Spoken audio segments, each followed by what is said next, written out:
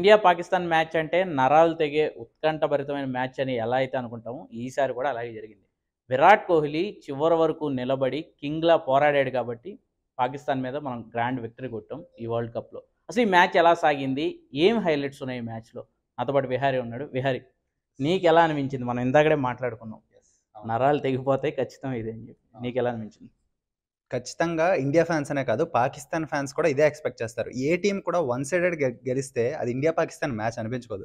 Like last year చూసాము పూర్తిగా Pakistan one sided match గెలిచింది. బట్ ఇందులో చేజులు ట్విస్ట్లు జలకలు దెబ్బ మీద దెబ్బ లాస్ట్ బాల్ వరకు వెళ్ళింది మ్యాచ్ అది అసలు. ప్యూర్లీ గూస్ బంప్స్ మూమెంట్ ఇది. గూస్ బంప్స్ మ్యాచ్ మొత్తం గూస్ బంప్స్ ఉన్నాయి. అసలు ఎక్కడా తగ్గింది లేదు. ఒకసారి పాకిస్తాన్ అప్పర్ హ్యాండ్ ఒకసారి ఇండియా అప్పర్ హ్యాండ్ అలాగా ఆధిపత్యం అనేది చేంజ్ అవుతూ ఎస్ లాస్ట్ ఓవర్లో కూడా ఆ నో బాల్ రావడం తర్వాత ఫ్రీ హిట్ వికెట్స్కి తాకినా సరే వాళ్ళు త్రీ తిరగడం ఇలాగా చాలా టర్న్స్ ఉన్నాయి. తర్వాత దినేష్ కార్తిక్ స్టంప్ అవుట్ అవ్వడం ఇలా చాలా టర్న్స్ ఉన్నాయి. So purely India Pakistan match ఎలా ఉండాలి అని ఎవరికైనా చెప్పాలంటే వన్ ఆఫ్ ఇది ఒకటని చెప్పుకోవచ్చు ఇది ఈ ఖచ్చితంగా మ్యాచ్లో మాట్లాడుకోవాల్సిన ఖచ్చితంగా మాట్లాడాలి తీరాల్సిన ప్రధాన కారణం విరాట్ కోహ్లీ ఆబ్వియస్లీ ఆబ్వియస్లీ ఎలా అనిపించింది కింగ్ బ్యాటింగ్ పర్ఫార్మెన్స్ ఎట్లా లైక్ విరాట్ ఉన్న పేరు చేజ్ మాస్టర్ అని అండ్ పాకిస్తాన్ మీద టీ ట్వంటీ వరల్డ్ కప్లో తనకి సూపర్ రికార్డ్ ఉంది. ఎందుకంటే ఇప్పటివరకు ఫోర్ మ్యాచెస్ ఆడాడు పాకిస్తాన్ మీద. అందులో త్రీ ఫిఫ్టీస్ ఉన్నాయి. ఇంకో దాంట్లో కూడా thirty six not out something. So not out ఉన్నాడు పర్ఫెక్ట్ రికార్డ్ పాకిస్తాన్ మీద. ఈసారి కూడా అందులోనూ పాకిస్తాన్ మీద match T twenty world cup opening. Thirty one for four India ఒక ఒక టైంలో సిచ్యువేషన్ అప్పుడు విరాట్ కోహ్లీ హార్దిక్ పాండ్యా కలిశారు. లైక్ విరాట్ కోహ్లీ స్టార్టింగ్లో చాలా స్లోగా ఆడాడు. హండ్రెడ్ స్ట్రైక్ రేట్ కూడా లేదు. బట్ ఇన్నింగ్స్ని ముందు స్టెబిలైజ్ చేద్దాం అనుకున్నాడు. తను హార్దిక్ పాండ్యా అదే ఉద్దేశంతో ఆడారు. ఎప్పుడైతే స్టెబిలైజ్ చేశారో రన్ రేట్ గురించి ఒక అవగాహన వచ్చింది. అప్పటి నుంచి వాళ్ళు కౌంటర్ అటాకింగ్ స్టార్ట్ చేశారు. విరాట్ కోహ్లీ మీద జనరల్లీ ఉండే ఒపీనియన్ ఏంటంటే తను గ్యాప్స్ చూస్తాడు ఫోర్స్ బాగా కొడతాడు వికెట్స్ మధ్య చాలా ఫాస్ట్గా పరిగెడతాడు. సిక్స్లు తన మెయిన్ ఎబిలిటీ కాదు మెయిన్ స్ట్రెంగ్త్ కాదని ఒక ఒపీనియన్ ఉంది. బట్ ఈ మ్యాచ్లో చూసుకుంటే నైన్టీన్త్ ఓవర్లో క్రూషియల్ టైంలో లైక్ ఆ ఓవర్ అప్పటి వరకు సూపర్ వేశాడు హారిస్ రఫ్. కానీ last two balls two sixes కొట్టాడు విరాట్ కోహ్లీ. అది ఆ మ్యాచ్కి మే చాలా టర్నింగ్ పాయింట్స్ ఉన్నాయి. బట్ టర్నింగ్ పాయింట్స్లో నెంబర్ వన్ అంటే ఆ nineteenth over last two balls two sixes Virat Kohli కొట్టడం. మామూలుగా బుక్లో ఎలా ఉందో అలా ఆడతాడు అనుకున్న దాని నుంచి కొంచెం నార్తరాక్స్గా కొంచెం ఆడాడు అనిపించింది. ఆ నైన్టీన్త్ ఓవర్లో రెండో సిక్స్ అయితే జనరల్లీ అది Suryakumar Yadav kind of shot Virat Kohli తన కెరియర్లో చాలా తక్కువ ఆడతాడు అలాంటి shots but last one and half two ఇయర్స్లో తన గేమ్ కూడా ఎప్పటికప్పుడు మార్చుకుంటూ వచ్చాడు. అండ్ బయట చాలా డిస్కషన్ జరుగుతుంది ఏమని అంటే Kohli style of play T ట్వంటీలకి ఇప్పుడు ఏమాత్రం మ్యాచ్ అవ్వదు. తన స్ట్రైక్ రేట్ తక్కువ ఉంటుంది. తను టీమిండియా అటాకింగ్ స్ట్రాటజీకి ఫిట్ అవ్వడు అని చాలా అవుట్ సైడ్ నాయిస్ అంటారు చాలా డిస్కషన్ జరుగుతుంది విరాట్ కోహ్లీ స్ట్రైక్ రేట్ మీద. బట్ ఈ మ్యాచ్తో తను ప్రూవ్ చేసింది ఏంటంటే చేజింగ్కి వచ్చేసరికి తనే కింగ్ అని తనని కింగ్ కోహ్లీ అని ఎందుకు పిలుస్తారో పాకిస్తాన్ అనేసరికి ఎలా పర్ఫామ్ చేస్తాడో మరోసారి నిరూపించాడు. చేజ్ మాస్టర్ అనిపించుకున్నాడు మెయిన్గా మాట్లాడుకోవాల్సింది లాస్ట్ టూ అవర్స్ స్పిన్నర్కి ఎవరి గురించి? అది ఇండియా కానీ పాకిస్తాన్ కానీ ఎప్పుడు డిబేటబుల్. లాస్ట్ అవర్ స్పిన్నర్కి ఇస్తే ఉంటుందా ఉండదని. ఈ మ్యాచ్లో ఎలా అనిపించింది? సో ఈ మ్యాచ్లో ఏంటంటే ఇండియా పాకిస్తాన్ రెండు టీమ్స్ కానీ ఆ ఒక్క ఓవర్ మీదే మ్యాచ్ ఫలితం ఎటువైపు తిరుగుతుందో వాళ్ళిద్దరికీ తెలుసు. లైక్ పాకిస్తాన్ స్ట్రాటజీ ఏంటంటే ముందు పేసర్ల బౌలింగ్ వేయించేసి కోహ్లీ హార్దిక్ పాండ్యా లాంటి కీ వికెట్స్ తీసేస్తే ఇండియా మీద ప్రెషర్ పెడుతుంది. సో ఆ టైంలో స్పిన్నర్ని ఇంట్రడ్యూస్ చేయొచ్చని.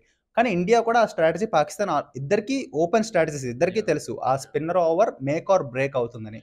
సో ఇండియా కూడా ఆలోచించింది ఆగింది ఆగింది లైక్ క్యాలిక్యులేటెడ్గా ఆడింది పేసర్స్ బౌలింగ్లో. పాండ్యా దొరికిపోవడం కూడా వాళ్ళ స్ట్రాటజీ సో యా పేసర్స్ బౌలింగ్లో క్యాలిక్యులేటెడ్గా ఆడింది స్పిన్నర్ ఓవర్ ఉంటుందని వాళ్ళకి తెలుసు బట్ పాకిస్తాన్ దగ్గర వేరే చాయిస్ లేకపోయింది. నైన్టీన్త్ ఓవర్ వరకు చూశారు. పేసర్స్ ఏమైనా విరాట్ కోహ్లీ హార్దిక్ పాండ్యా వికెట్లు తీస్తారేమో డీకే మీద ప్రెషర్ పెరుగుతుందేమో అని పాకిస్తాన్ స్ట్రాటజీ అది. బట్ అది వర్కౌట్ అవ్వలేదు లాస్ట్ ఓవర్ స్పిన్నర్కి ఇవ్వక తప్పలేదు. బట్ ఆ స్పిన్నర్ కూడా ఈజీగా గివప్ ఇవ్వలేదు. ఎందుకంటే ఒక నో బాల్ వేశాడు ఫ్రీ హిట్ అది ఆ నో బాల్ సిక్స్ వెళ్ళింది తర్వాత త్రీ రన్స్ తర్వాత డీకే స్టంప్ ఇది చాలా క్లోజ్గా తీసుకొచ్చాడు.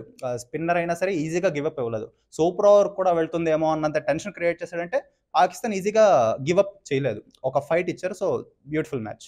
అంటే ఎప్పుడు మనం ఇండియా పాకిస్తాన్ మ్యాచ్ అంటే ఏదో ఒక పర్టికులర్ రీజన్ దగ్గర పాయింట్ చుట్టూ తిరుగుతూ ఉంటుంది ఈసారి కూడా కనిపించింది నోబాలా కాదా అని. సో ఖచ్చితంగా మాక్సిమం ఇప్పుడు సోషల్ మీడియాలో స్టార్ట్ అవుతుంది కాసేపట్లో చర్చ. పాకిస్తాన్ ఫ్యాన్స్ అందరూ ఆ ఎమోషన్ కదా ఎంతైనా ఇండియాతో మ్యాచ్ అంటే. ఖచ్చితంగా అది నో బాల్ కాదని నో బాల్ ఇచ్చారని దీని మీద కాంట్రవర్సీ ఖచ్చితంగా జరుగుతుంది. లైక్ టీవీ అంపైర్ కూడా రెండు మూడు యాంగిల్స్లో చూసి అది నో బాల్ ఇచ్చారు. ప్లస్ అది మ్యాచ్కి కీలకంగా మారింది కదా. నో బాల్ దాని తర్వాత ఫ్రీ హిట్ రావడం అదంతా దానివల్ల సో దీని చుట్టూ ఖచ్చితంగా పెద్ద చర్చ జరుగుతుంది. మ్యాచ్ విశ్లేషణ విషయానికి వస్తే అంటే వన్ సిక్స్టీ రౌండ్లో ఉన్న అవును. ఈజీగా చేసి చేస్తారు అనుకున్నారు. మనకున్న బ్యాటింగ్. లేనప్పుడు. కానీ అంత ఇబ్బంది ఎందుకు పడాల్సి వచ్చింది? సో ఇబ్బంది అంటే ఫస్ట్ థింగ్ మనం స్టార్టింగ్ టూ త్రీ అవర్స్ చూస్తే లాస్ట్ టైం మనకి చాలా డేంజరస్గా మారిన షహీన్ అఫ్రిదీని రోహిత్ రాహుల్ బాగానే ఆప్- ఆపారు. ఈసారి కొంచెం బాగానే ఉందండి. రాహుల్ వేరే బౌలర్ దాంట్లో అవుట్ అయ్యాడు. వేరే విషయం కానీ షహీన్ అఫ్రిది టూ ఓవర్స్ని మన వాళ్ళు సేఫ్గా ఆడుకున్నారు. సో ఇది ఒక మంచి స్టార్ట్ అనుకున్నాం. బట్ ఈసారి హ్యారీస్ రౌఫ్ వచ్చాడు. హ్యారీస్ రౌఫ్ వచ్చి వికెట్లు తీసాడు సో ప్రెషర్ పెరిగింది. థర్టీ వన్ ఫర్ ఫోర్ అంటే ఒక్కసారిగా అందరూ అయోమయమైన స్థితిలో పడ్డారు. ఎందుకంటే ఇంకొక వికెట్ చాలు పాకిస్తాన్ చేతుల్లోకి మ్యాచ్ వెళ్ళిపోయింది. బట్ ఇందాక చెప్పుకున్నట్టు విరాట్ కోహ్లీ హార్దిక్ పాండ్యా ముందు ఇన్నింగ్స్ స్టెబిలైజ్ చేయడానికి చూశారు. సో ఆ రకంగా విజయవంతమయ్యారు. అరౌండ్ వన్ సిక్స్టీలో ఆపగలిగారంటే ఖచ్చితంగా బౌలర్స్ గురించి మాట్లాడుకోవాలి. మన వాళ్ళ బౌలింగ్ పర్ఫార్మెన్స్. యాక్చువల్లీ బౌలర్స్ గురించి మాట్లాడుకుంటే లైక్ పాకిస్తాన్ ఫస్ట్ ప్రెషర్లో ఉండింది.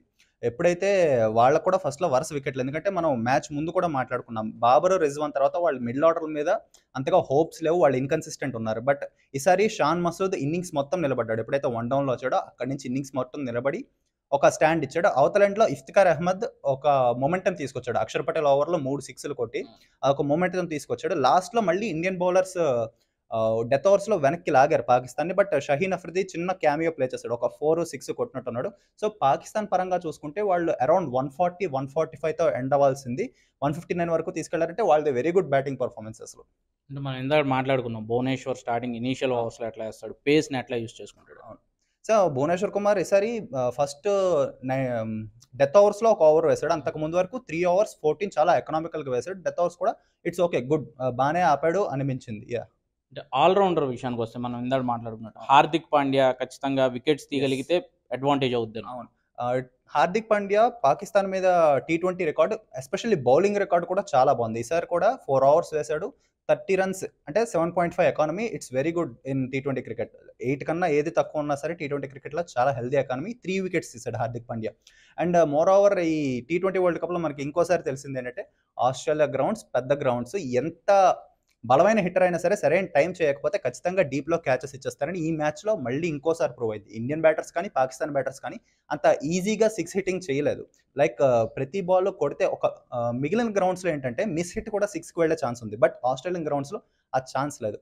మనకు అక్కడ Virat Kohli Hardik Pandya you know presence of mind గురించి మాట్లాడుకోవాలి ఎందుకంటే ఇద్దరు బాగా ఫిట్టెస్ట్ క్రికెటర్స్ సో గ్యాప్స్ బాగా చూసుకొని టూ సింగిల్స్ని టూస్గా టూస్ని త్రీస్గా మార్చుకొని uh, రన్ రేట్ అక్కడ ప్రెషర్ ఎక్కువ పడకుండా చూసారు వాళ్ళు క్విక్గా పరిగెట్టడం వల్ల.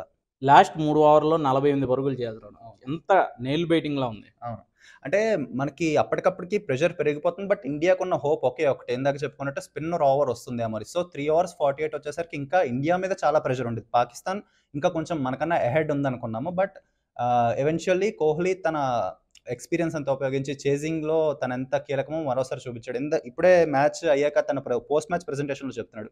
ఇన్నాళ్ళు టీ ట్వంటీలో కోహ్లీ బెస్ట్ ఇన్నింగ్స్ అంటే టూ థౌజండ్ సిక్స్టీన్లో మొహాలీలో ఆస్ట్రేలియా మీద ఆడాడు.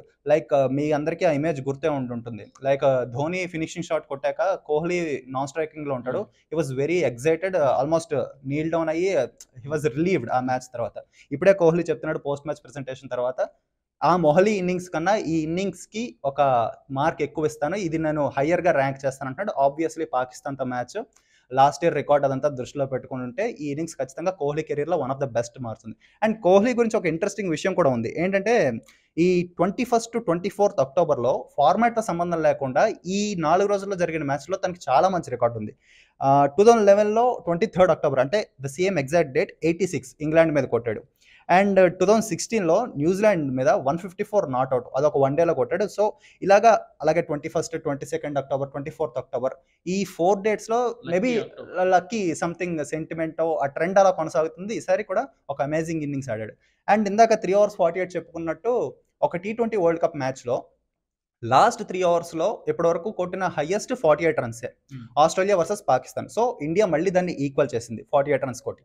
సో ఈ కాన్ఫిడెన్స్ అనేది చేజ్ మాస్టర్ లా మళ్ళీ కోహ్లీ. అంత ఫామ్లోకి రావడం. సో వరల్డ్ కప్లో నెక్స్ట్ మ్యాచెస్కి ఫర్దర్ మ్యాచెస్కి ఎలా ఉపయోగపడుతుంది? ఖచ్చితంగా. ఎందుకంటే మనం మ్యాచ్ ముందు కూడా టాప్ త్రీ కొంచెం ఇన్కన్సిస్టెంట్గా ఉన్నారు. కోహ్లీ ఫామ్లోకి వచ్చాడన్నా సరే లైక్ ఇంకా తన స్ట్రైక్ రేట్ మీద డిస్కషన్ జరుగుతుంది. ప్రెషర్ ఎక్కువ ఫీల్ అవుతున్నాడేమో అన్న ఒక ఇది ఉండేది బట్ ఫస్ట్ మ్యాచే పాకిస్తాన్తో ఇంత మంచి ఇన్నింగ్స్ ఆడి టీమిండియాకు ఒక బూస్ట్ వచ్చింది. లైక్ కోహ్లీకే కాదు టీమిండియా మొత్తానికి. ఎందుకంటే లాస్ట్ టైం ఫస్ట్ మ్యాచ్ ఓడిపోయి యూనో లెవెల్స్ అన్ని డ్రాప్ అయిపోయి మనం uh, గ్రూప్ స్టేజ్లోనే ఇంటికి వచ్చేసాం T twenty world cup but ఇది ఇచ్చిన హైతో ఇంకా వరుసగా ఆల్మోస్ట్ సెమీస్కి ఆల్రెడీ ఫ్యాన్స్ అంచనాలు పెట్టుకోవడంలో ఎలాంటి తప్పులేదు ఎందుకంటే పాకిస్తాన్ లాంటి మేజర్ గండం దాటిన తర్వాత అఫ్కోర్స్ టీ ట్వంటీ ఫార్మాట్ ఆ రోజు ఏం జరిగితే అదే జరుగుతుంది. బట్ టీమిండియా ఎనర్జీ ఖచ్చితంగా టూ హండ్రెడ్ పర్సెంట్ పెరుగుంటుంది. ఓకే థ్యాంక్ యూ సో ఇది కంప్లీట్గా ఓవరాల్ పర్ఫార్మెన్స్ ఇండియా అద్భుతంగా చేసింది. ప్రత్యేకించి చేజ్ మాస్టర్గా విరాట్ కోహ్లీ ఈ స్థాయిలో కంబ్యాక్ ఇవ్వడం. సో ఈ కాన్ఫిడెన్స్ నెక్స్ట్ వరల్డ్ కప్లో మరిన్ని మ్యాచెస్ ఇండియా గెలవడానికి ఎప్పటి నుంచో వెయిట్ చేసిన వరల్డ్ కప్ కోరికని కలను తీర్చడానికి